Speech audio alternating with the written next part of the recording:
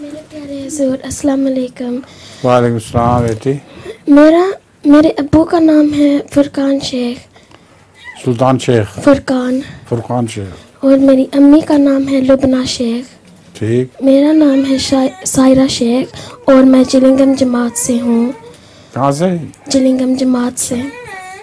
हजूर मेरा पहला सवाल है आपकी बेटियाँ जब छोटी थीं तो आ, आपसे डरती थी या अपनी अम्मी से?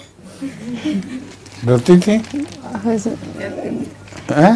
आपसे ज़्यादा डरती थी या मम्मी से? मुझसे तो बिल्कुल नहीं डरती थी। ये मेरी बेटी बैठी हुई है, इससे पूछ लो मुझसे बहुत बेतकल्फ हुआ करती थी। हर बात कर दिया करती थी। अपने जो शेर बनाया करती थी वो भी मुझे सुनाया करती थी।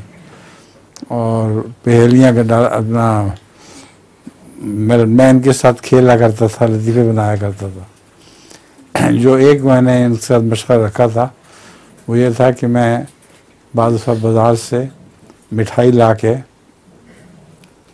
अपनी जो पेंट्री होती थी, वहाँ ऊपर किसी जगह छुपा दिया करता था। और कभी किसी जगह, कभी किसी जगह बदल बदल के। तो इनसे पूछा करता था मैं शौकी से और फ़ायदा से, कि आज कौन सी मिठाई आप पसंद करेंगी? तो ये एक मसन कह रही थी लड्डू। तो मैं लड्डू भी लेके आया होता था। उसने शौकी ने कह दिया, बर्फ़ी? तो मैं बर्फ़ी भी लेके आया होता था। तो मैं कह रहा था, आप बताएँ, लड्डू कहाँ से निकाल के दूँ?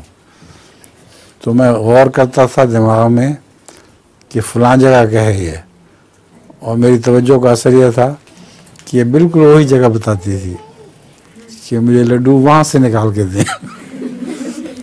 और शौकी से पूछता था बर्फ़ी कहाँ से निकालूं? तो उस दफ़ा भी मैं अपने दिमागी तवज्जो से कह रहा था कि फलां जगह बताए। और हर दफ़ा ठीक निकलता था। क्यों भाई? याद है ना? वहीं से लड्डू और वहीं से बर्फ़ी निकलते थे। और फायजा शेर भी कहती थी। छोटे होते हैं। काफ़ी छोटी थी अभी। शेर एक, एक इसने शेर बनाया था।